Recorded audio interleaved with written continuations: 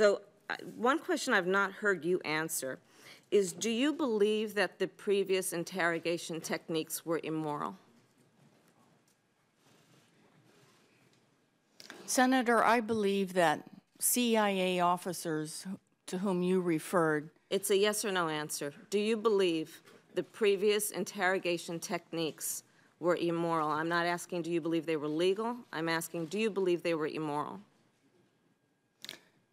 Senator, I believe that CIA It's did a yes no extraordinary work to prevent another attack on this country, given the legal tools that we were authorized to use. Please use. answer yes or no. Do you believe in hindsight that those techniques were immoral?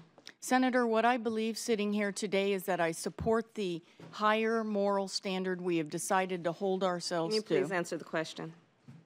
Senator, I, I think I've answered the question. No, you've not. Do you believe the previous techniques, now armed with hindsight, do you believe they were immoral?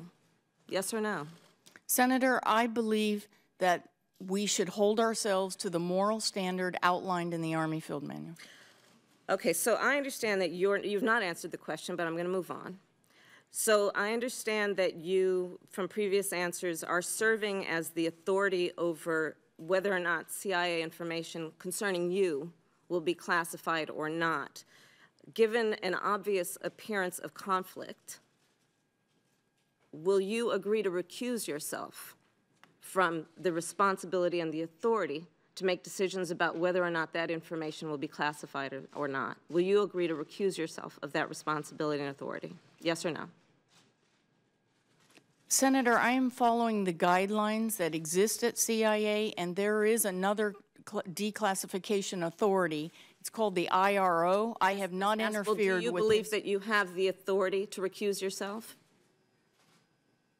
I'll take that for the record. I, it- I, I may have the authority to recuse myself. I'm not a Assuming you do. lawyer. I don't, I'm not sure about that. Assuming you do, and I believe you do, will you agree to recuse yourself from the responsibility and the authority of making decisions about what CIA information about you and your record will be classified or declassified? Senator, if I had agreed with the proposals that have come up to, because people thought it would be advantageous to me, I think I would have been um, abdicating my responsibility to follow the rules that everyone at CIA follows.